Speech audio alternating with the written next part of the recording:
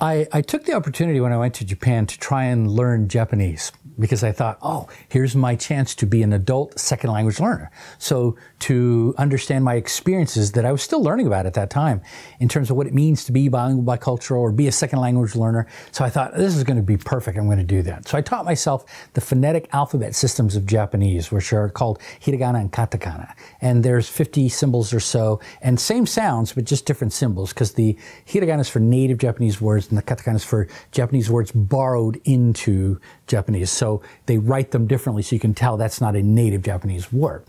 Anyway, um, I did all that and I thought, I'm, I'm prepared. I'm going to learn the language so quickly. It's going to be wonderful. Everything's going to be great.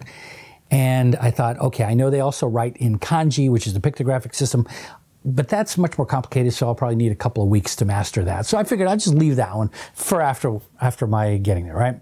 So from everything I'd read, and everything I'd understood, I should have like acquired the language really, really fast. And I get to Japan and I realize, well, I can decode some things written in, in the kana, but I didn't understand what I was reading.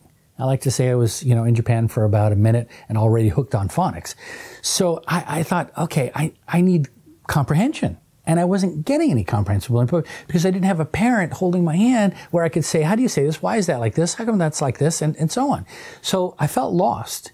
And quickly, quickly, it didn't take me but, I don't know, a couple of hours to realize I'm no longer an adult.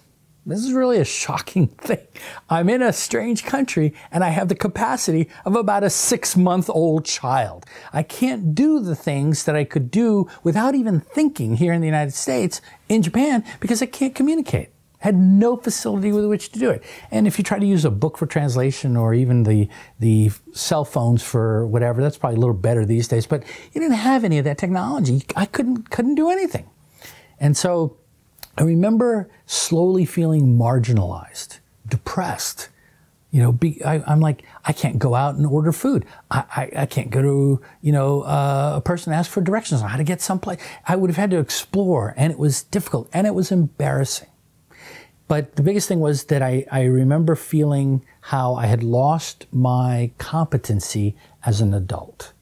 And that was very strange. And I didn't realize you know, this is what happens. People who come who are well educated, they, they don't, they don't, they're not able to bring that same level of competence with them. Not immediately. It takes time to develop. And I got a greater appreciation for what it was like to be an immigrant to the United States and encounter a culture that you don't understand, a language you can't speak, and try to somehow manage your way in all of that.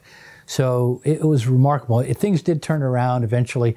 Uh, made some friends. They sort of took care of me, and things got terrific. And uh, uh, I really enjoyed my experience there. It was phenomenal, and I would not trade it for anything. But that early experience really taught me we can never, never, never underestimate how difficult it is to come from some other place and speaking some other language and try to make a life there.